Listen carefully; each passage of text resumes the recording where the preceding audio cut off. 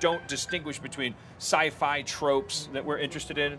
Like, what is it about turning invisible or whatever? uh, Thoughts about that, movies that we like, and also very much infused in that just personal memories. Oh, Pooping yeah, your yeah. pants in sixth grade, and like, like, like, because we've got two adolescent kids on the show, and then we've also got parents that are that are perpetually on the verge of divorce and things. So domestic like uh, granularity is very important. So Yeah. anything that we talk about that gets a reaction from the room, we try to just flag that, and then we try to find the stories in those things. Yeah.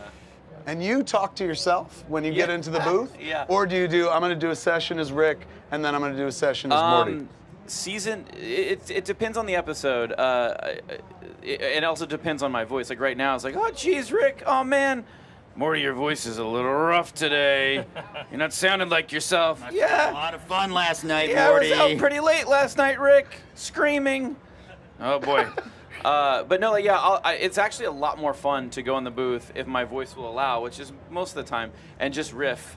You know, I'll, I'll always do uh, uh, Morty first all the way through, Rick all the way through, and then at the end I'll, I'll run scenes. There's certain scenes where I sort of I know, you know, uh, I know the gist. I know what what what information needs to be hit, and then I'll just kind of I'll, I'll screw around.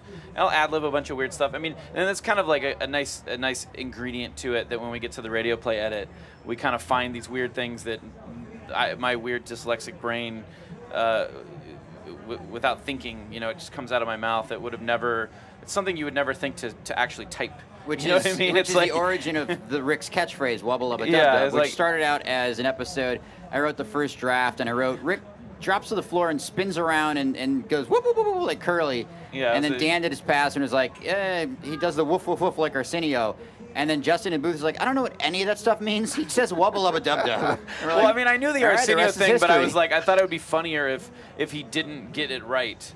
He's like, you know, isn't that what Arsenio? Isn't that the Arsenio thing? Wubba lubba dub dub. Is Arsenio?